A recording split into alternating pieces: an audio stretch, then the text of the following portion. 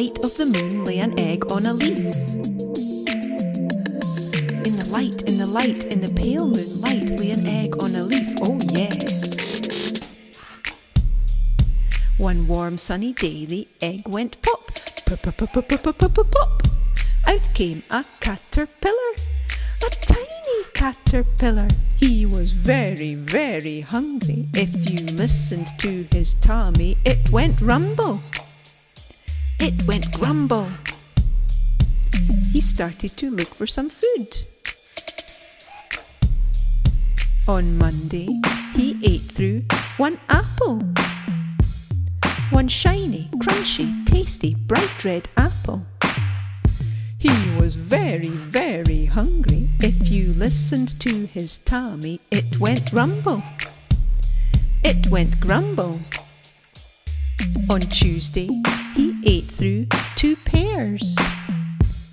Two sweet and delicious green pears. He was very, very hungry. If you listened to his tummy, it went rumble. It went grumble. Wednesday was plums, three lovely juicy plums. One, two, three hungry. If you listened to his tummy, it went rumble. It went grumble. The next day was Thursday. The hungry caterpillar ate through one, two, three, four strawberries. He was very, very hungry. If you listened to his tummy, it went rumble. It went grumble.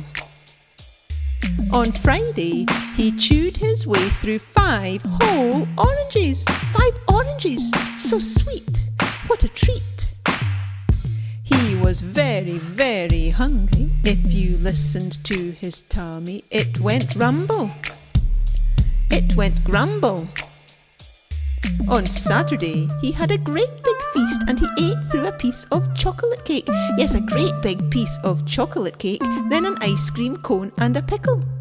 A slice of cheese, a slice of salami, and a lollipop. Yes, a lollipop. Next came a piece of chewy cherry pie and a sausage, a silly sausage. A silly, silly sausage and a cupcake, yum, and a mouthful of melon at the end.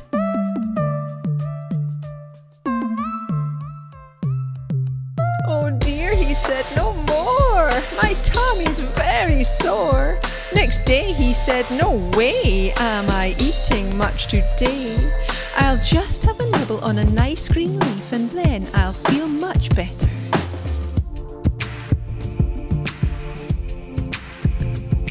Now the little caterpillar wasn't hungry anymore, and the little caterpillar wasn't little anymore. He was big, big, big. He was fat, fat, fat. Oh yeah.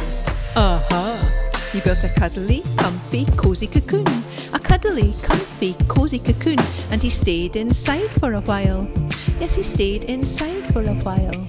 Then nibble, nibble, push, push, push.